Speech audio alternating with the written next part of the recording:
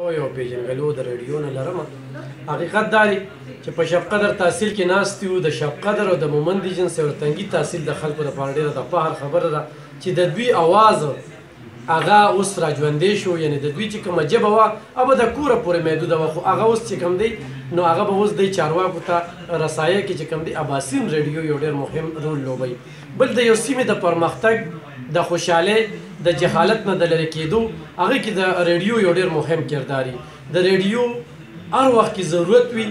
نه یوازې دا چې یا په زلزله کې، په سېلاب کې کله چې مواصلاتي نظام درخم برخم شي هغه ټېم کې د خلکو سترګې رېډیو ته وي، بلکې په هر محاذ باندې چی په دی کی مختلف پروګرامونه کیږی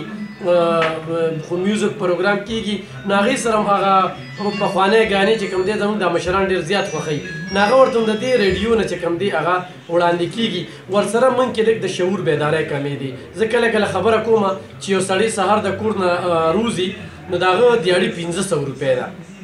بیا چې هغه رو هغه ته کور کې سودا یاد کی چیرې چینی غوړي چې دار سروړه ناغه چې راپا روزي نه په سوچ کې لاړ شي نو بیا هغه د سودا ځان ته یاد ساتلی چې ځبن په دیاړه کې سس سودا وړم نو بیا گاډي ته روخي جن د گاډي هغه د کی وي نو بیا چې کم دی او اکثره وسره یو داسې کس ملو شي چې هغه خپل خبره ته ټیک وي دا خبره نوري نو دې دوران کې داغه ناغه مقصدي خبره ایره شي هغه په نور نور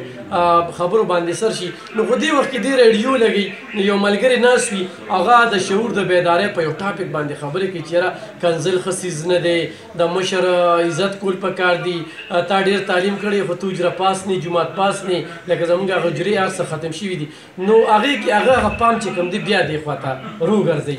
نو زه وایم په مختصر الفاظو کې چې د دې ما کوم سیمه یاد کړی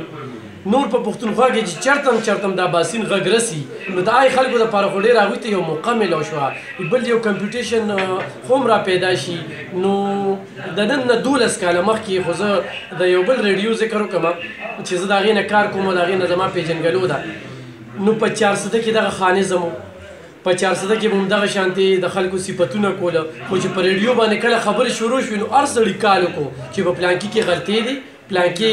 غلط کار کوي دا کار خو داسې ونه شو نو داسې به وشي نو هغې کې ډېر کمی راغی اوس اباسین راغی نو نن زه احمد علي تاسو ته د دې منیجمنت ته هغه ته مبارکي ورکوم او داد ورکوم او دا سلا ورکوم چې په شپ قدر په دې خلکو یو ډېر لوی احسان وکړو چې ډېر ګران کار دی دا چلول دا مخ وړاندې بوتل خو ان شاء الله دا به د کامیابی لار خپلې او دا زه ولا اوس نه وایم چې دا د شپ قدر خلکو سره د سیمې خلکو سره ډېر یو ښه ښېګړه وکړه